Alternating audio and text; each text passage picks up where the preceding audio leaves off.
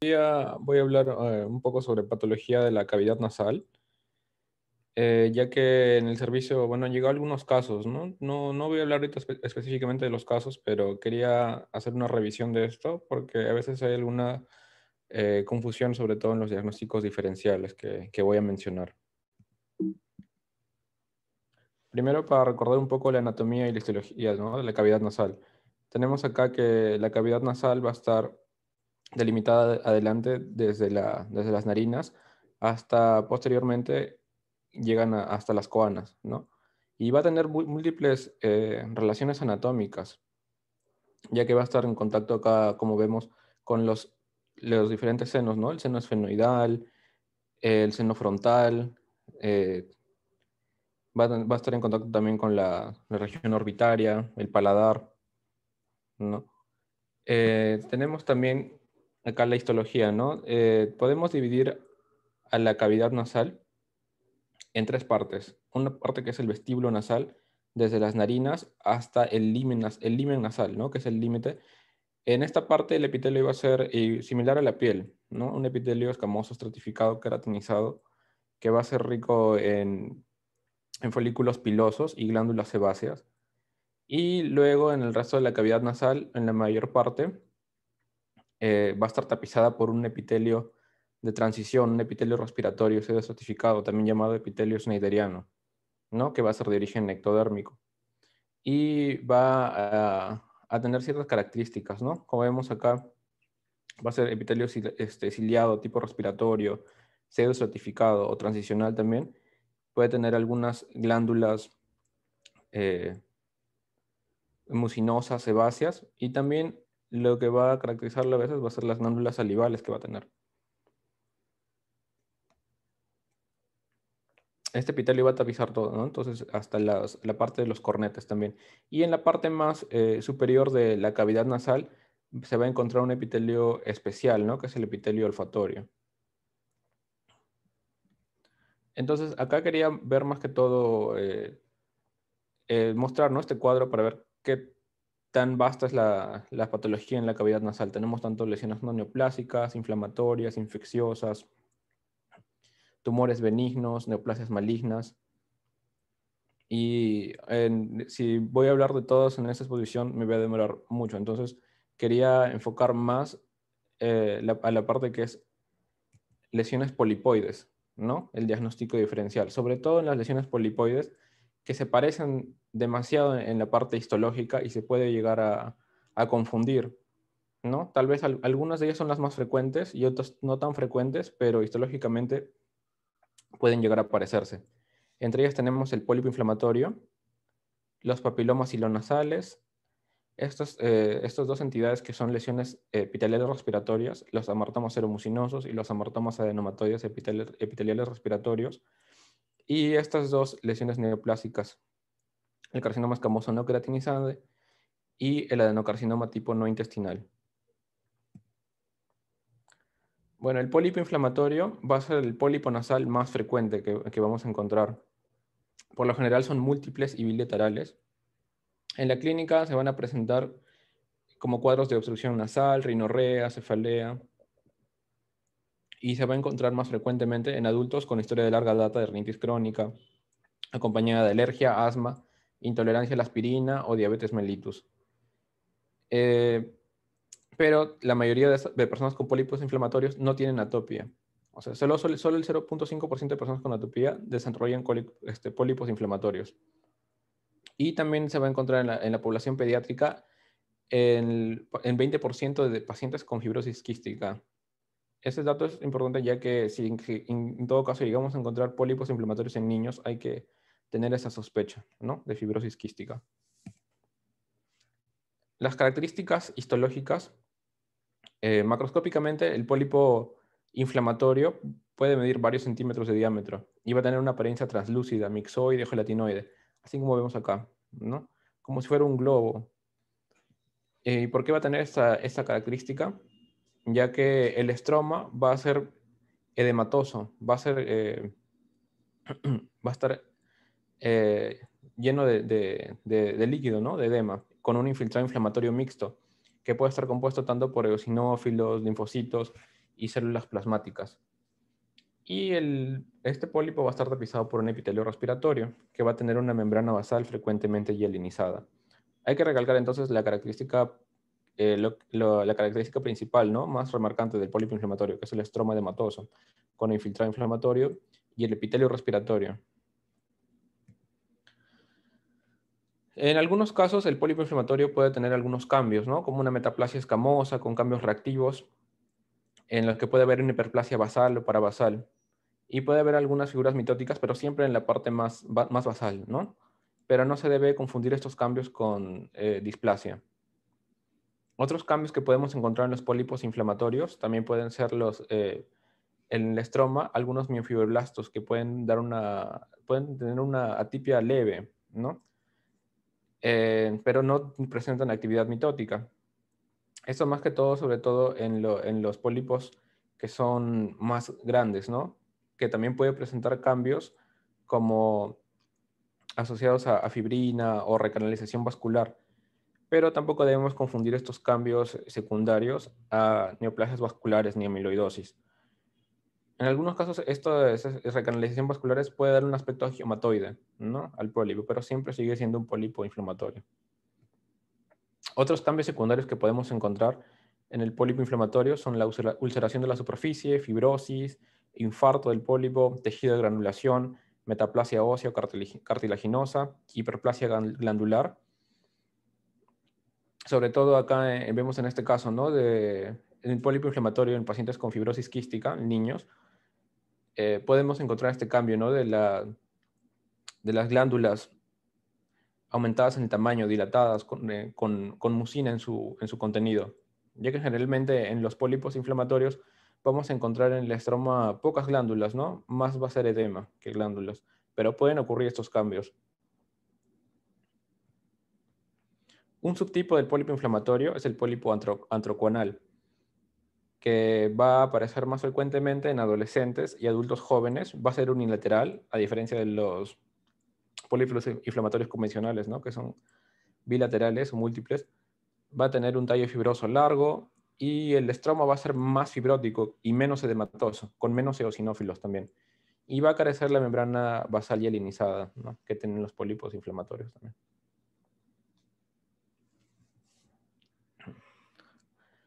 Acá aprendemos una, eh, otra de las entidades en las que tienen que entrar el diagnóstico diferencial, ¿no? También de esos, de esos pólipos. Eh, que, que estas se llaman los papinomas nasales, o también conocidos anteriormente como papilomas schneiderianos, ¿no? Por la mucosa, que es, eh, del, origen, ¿no? Ya que van a, van a provenir de la mucosa de superficie, la mucosa schneideriana. La incidencia estimada es de 1 a 2 casos por 100.000 habitantes por año. Va a afectar predominantemente a varones en la quinta, sexta década de vida. Y para eh, en su etiología se han planteado diferentes hipótesis, ¿no? Como la exposición industrial, eh, solventes orgánicos, sobre todo en, casos de papiloma invertido, y también la asociación con el BPH, ¿no? Con el virus papiloma humano de alto riesgo. La clínica no va a ser específica, al igual que el, como una lesión polipoide, ¿no? Va, va, a causar obstrucción nasal, uni o bilateral, epistaxis, dolor facial, secreción purulenta, en los casos de papiloma invertido, si, si hay erosión no si extensa, puede causar hasta proptosis, pero por lo general van a ser unilaterales. Entonces, dentro de los papilomas sinonasales, tenemos esos tres tipos, ¿no? El papiloma invertido, el papiloma exofítico y el papiloma oncocítico. El más común de todos va a ser el papiloma invertido. Va a localizarse en la pared lateral o en los senos paranasales va a, tener una predominancia en mujeres, perdón, en hombres de 2 a 3, a comparación de mujeres de 1. La edad de común más representación va a ser en la quinta, sexta década y puede tener ¿no? asociación al BPH de alto o de bajo riesgo.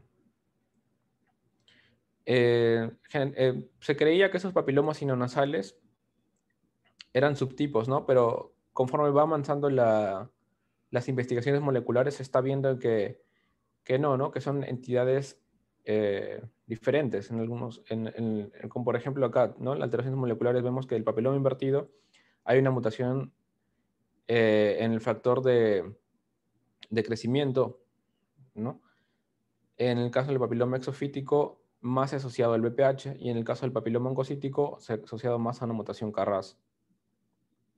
El riesgo de transformación maligna del papiloma invertido es del 5 al 15%, ¿no? Por eso algunos lo consideran como una lesión premaligna, pero eh, acá en esta clasificación lo tenemos todavía, ¿no? Como una neoplasia benigna. El otro tipo es el papiloma exofítico, que es el segundo más común. Generalmente se localiza en el tabique nasal y la predominancia en varones va a ser mucho, más, mucho mayor, ¿no? Que en el papiloma invertido va a ser de 10 a 1. La edad de presentación va a ser entre los 30 y 50 años y es el que más se asocia, ¿no? A al virus de papiloma de bajo riesgo. Eh, y el menos común de los tres va a ser el papiloma oncocítico, que puede estar tanto en la pared lateral o en los senos paranasales. Ahí no hay predominancia ¿no? en ningún sexo y la edad de presentación va a ser entre la quinta y sexta década. Y el riesgo de malignidad, de transformación en malignidad, va a ser de 4 a 17% en el papiloma oncocítico.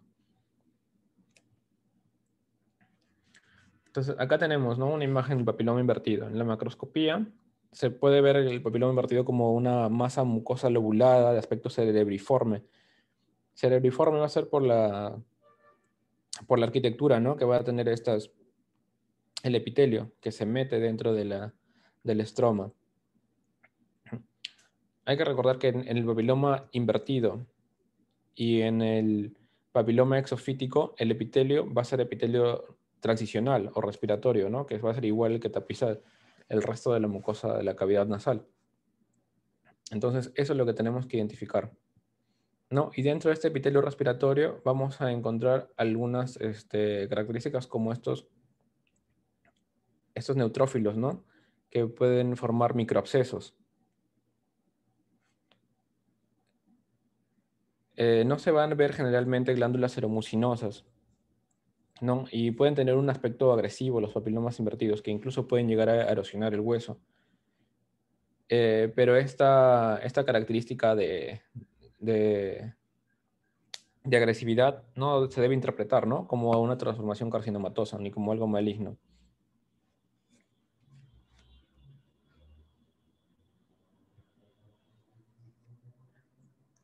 Acá tenemos el caso de un carcinoma ex papiloma invertido como, como había mencionado, algunos de los papilomas invertidos tienen el riesgo, ¿no? El 5 a 15% de transformarse eh, malignamente. Y ahí pueden este, dar origen a algunos carcinomas, ¿no? Pero para hacer este diagnóstico de carcinoma ex papiloma, tenemos que identificar el componente papilomatoso, es decir, llegar a identificar la parte, eh, la zona de epitelio, ¿no? Transicional con microabscesos, y la, arquitectura también, ¿no? Aparte del, carcinoma. Si es que no se llega a encontrar el componente papilomatoso, solo quedaría como un carcinoma, ¿no? Un carcinoma escamoso en, todo caso.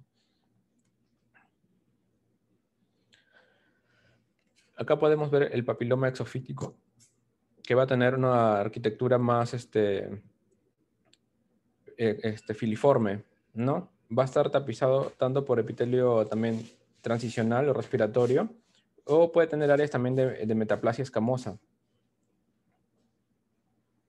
Puede tener también cambios, cambios coilocíticos, ya que es el que está más asociado al BPH. ¿no? Acá podemos ver cómo, cómo eh, se tiñe ¿no? para, para BPH. Y el otro tipo de papiloma menos frecuente es el papiloma oncocítico. ¿no? Arquitecturalmente puede exhibir ambos patrones de crecimiento, tanto exofítico como endofítico. Pero lo que, lo, que va a caracterizarle va a ser eh, el epitelio, ¿no? que va a, ser, eh, va a tener características oncocíticas. Es decir, no va a ser un epitelio transicional eh, igual a, los otros dos papilomas, ¿no? sino que va a tener esta apariencia eosinófila, granular, las células pueden tener también quistes mucosos esporádicos y su diagnóstico diferencial principal va a ser el adenocarcinoma de bajo grado. Que va a llegar a, puede diferenciarse del papiloma oncocítico porque por el mismo, las mismas características ¿no? del, del epitelio.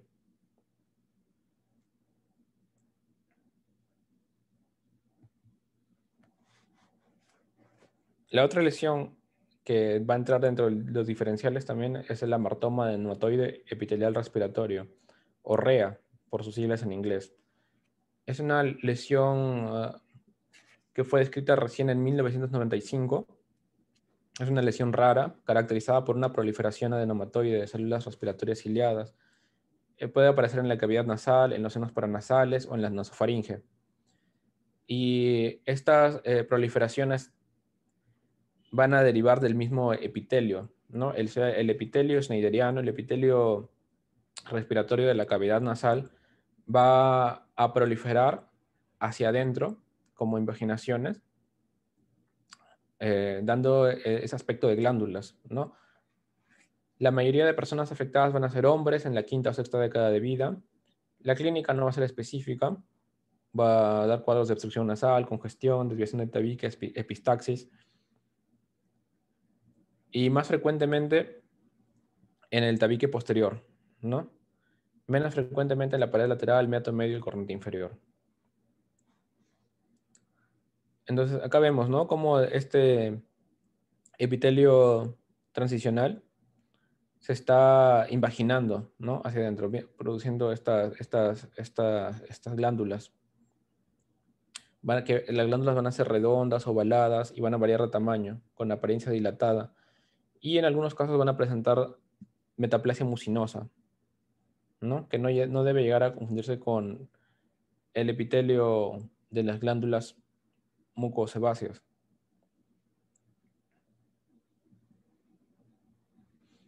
El estroma que va a rodear las glándulas va a ser generalmente edematoso y, contiene infiltrado inflamatorio mixto. O sea, el, el, estroma se va a parecer mucho al del pólipo inflamatorio, solo que va a tener las glándulas, ¿no? de epitelio transicional. Y estos amartomas van a ser positivos para las citocreatinas, incluyendo CK7, pero no va a ser positivo para CK20 ni CX2. Y su diagnóstico diferencial principal va a ser el adenocarcinoma bien diferenciado.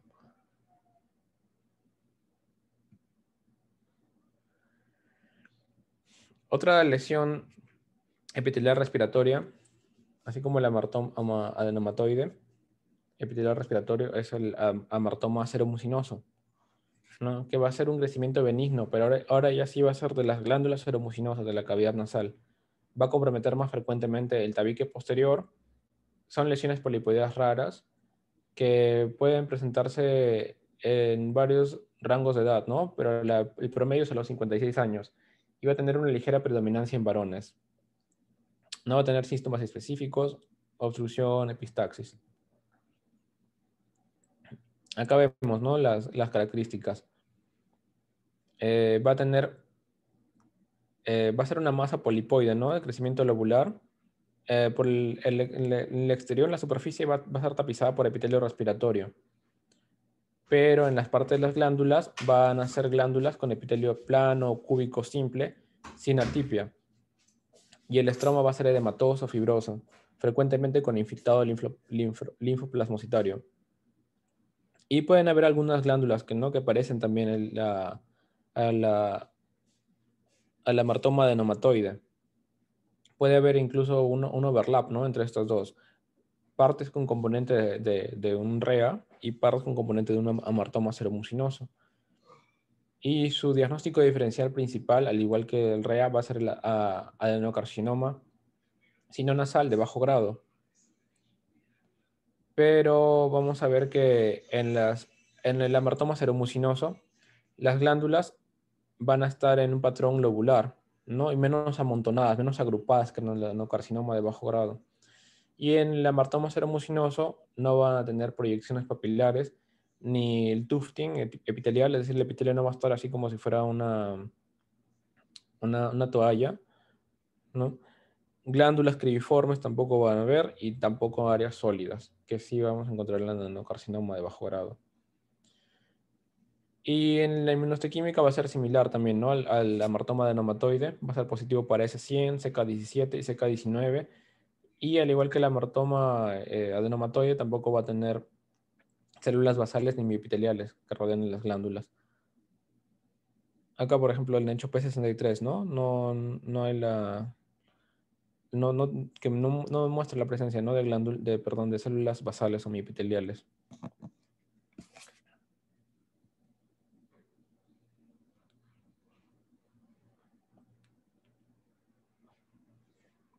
La otra patología que vamos, a encontrar dentro del diagnóstico diferencial de todas estas lesiones polipoides es el carcinoma escamoso no queratinizante.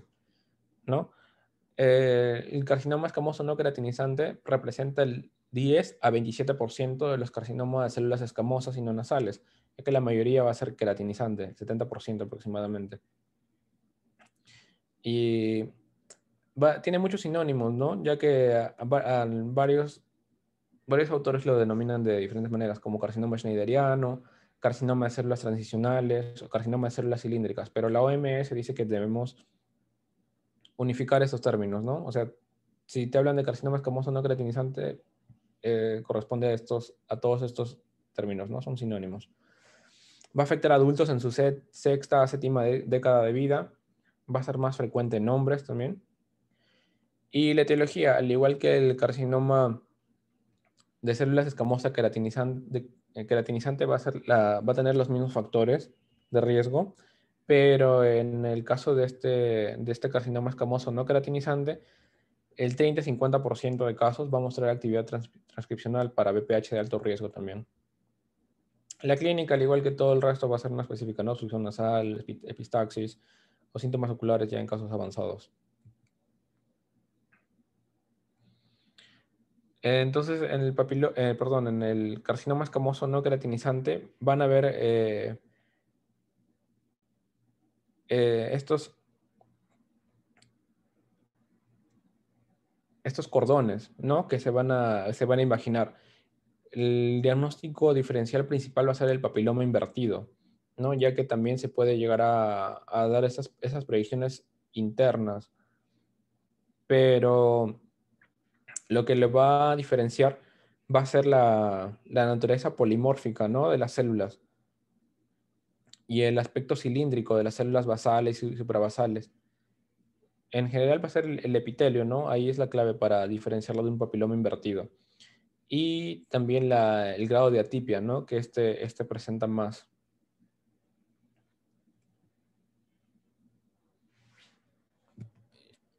Y finalmente tenemos el adenocarcinoma tipo no intestinal, ¿no? En la cavidad nasal tenemos el adenocarcinoma tipo intestinal y el tipo no intestinal no salival, ¿no? Eh, por lo general van a ser adenocarcinomas de bajo grado. Y muy raros van a ser, ¿no? los adenocarcinomas tipo no intestinales van a ser de alto grado. Son muy infrecuentes estas neoplasias y no tienen predilección por ningún sexo, ¿no? La edad, el rango de edad puede aparecer desde los 9 hasta los 89 años, pero la edad de presentación va a ser en la sexta década de vida, ¿no? En promedio.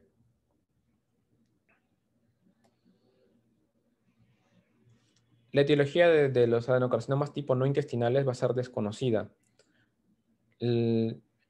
pero los de alto grado se han asociado a BPH, ¿no? O a los mismos papilomas nasales. El 64% de adenocarcinomas tipo no intestinal de bajo grado van a aparecer en la cavidad nasal, frecuentemente en el cornete medio. La clínica, al igual que el, resto, ¿no? de obstrucción, epistaxis, dolor. Y macroscópicamente van a tener un aspecto polipoide rojo, como si fuera una, una frambuesa.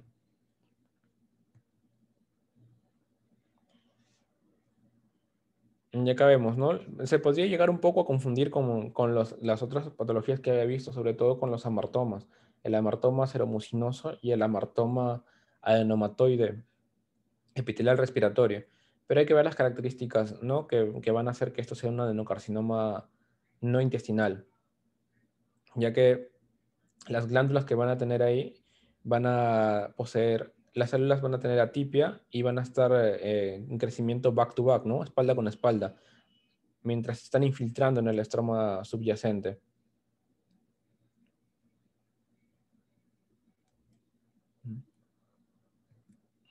Eso es todo por ahora. Gracias. ¿Alguna pregunta? Bien, este, Cristian, lo que de, verdad debo destacar en este momento es de la, revisión que has hecho. Sin embargo, dentro de la patología más frecuente, lógicamente, no destacan más de dos o tres, tal vez de ellos.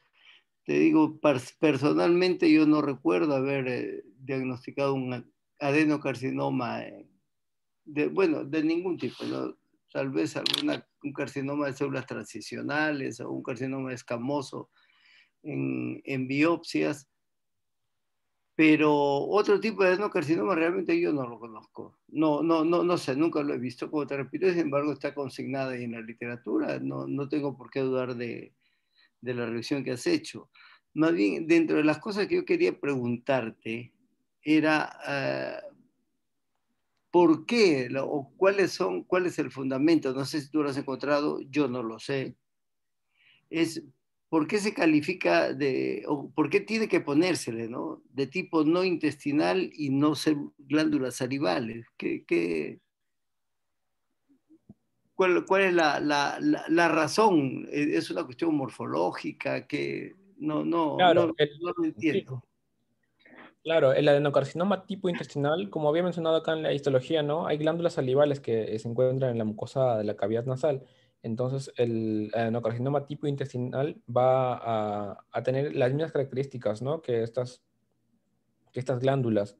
Va a ser rico en mucina, como si pareciera ¿no? el, un adenocarcinoma intestinal, pero en realidad va a ser de acá, de estas glándulas que van a nacer. Y el tipo no intestinal no va a tener esas características. Como vemos acá.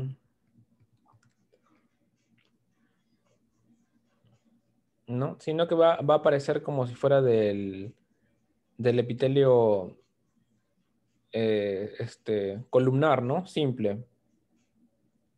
Eso es lo que, lo, que yo había encontrado.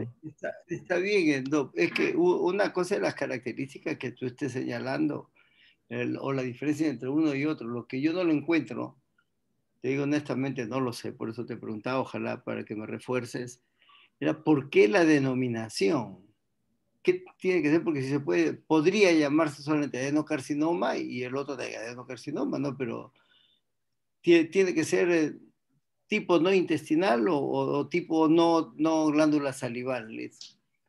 Eh, ocurre en pulmón también, ¿no? El, el adenocarcinoma tipo glándula salival, por, por similitud. Pero aquí también, nuevamente, mire, habiendo una diferencia o una distancia, dirías, entre una estructura y la otra, sin embargo, tiene que estar calificándose así.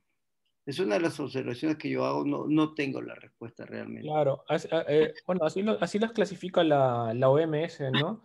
Al menos en adenocarcinomas en, en la cavidad nasal, en esos dos tipos los está clasificando. Y más que todo por las características histológicas, ¿no? Y el, el bueno, tanto el pronóstico no no he visto el otro, porque lo que quería recalcar más que todo en esta exposición era los diagnósticos diferenciales ¿no? de los tipos de, pólipos inflamatorios con papilomas sinonasales, que son los, más frecuentes que nos llegan a veces en, el hospital. ¿no? El resto, como había mencionado, los amartomas, la enocarcinoma tipo intestinal es el menos frecuente de los enocarcinomas, el carcinoma escamoso no queratinizante también es el menos frecuente de los carcinomas escamosos pero por las características eh, histológicas es por lo que las, he mencionado, ¿no? Como para, para ver, revisar cada uno. No, no, es, está bien. Lo, que, eh, si, si, alguien tiene la, la, respuesta a mi inquietud, me, me, hace saber, me ilustra, por favor. Pero está bien, Cristian, no, no, no, no, estoy juzgando tu, tu presentación, sino... no, no si hubiera alguna aclaración o alguna explicación a la denominación, más que nada, que hace la clasificación. Claro, yo entiendo esa es la clasificación. No, no, no sé si, si tenga alguna trascendencia, tal vez. El mm. tener que, que, calificarlo como tal. puede ser por de repente marcadores inmunistoquímicos. Porque a veces cuando es como el, me recuerda mucho al, ¿cómo se llama? cuando se habla de tipo pilórico, por ejemplo, en los pólipos de, de vesícula biliar se dice de tipo porque se parece. De repente hay alguna correlación de ese tipo. Y por eso se hace la, la, se dice no intestinal, lo único que podría pensar.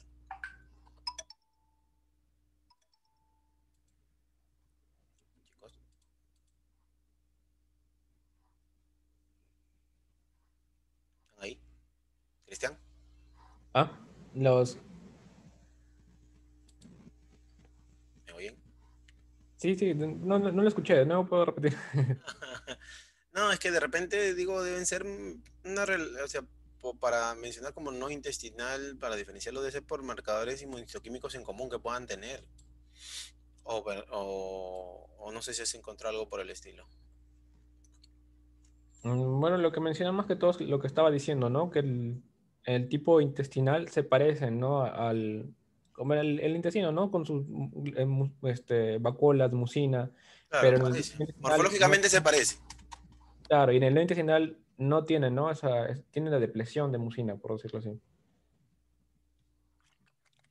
Entonces debe ser por, eh, debe ir por, o sea, parece intestinal, pero como no es, le pones el nombre. Bueno, puede ser, aunque debe haber una razón más. Bueno, sería cuestión de investigar un poco más. Claro, de repente en la parte molecular ahí Me parece que va por ahí, me parece que va por ahí, la parte molecular. A ver, bueno, tenemos, tenemos una tarea, nos deja el maestro entonces. Este, no sé si hay alguna otra pregunta, consulta. Maestro. No, nada, yo, yo estoy pendiente con esa él y averiguaremos, pues. Ahí nos vamos a, tenemos tarea. a, a, a desasnar. Muy bien. Entonces,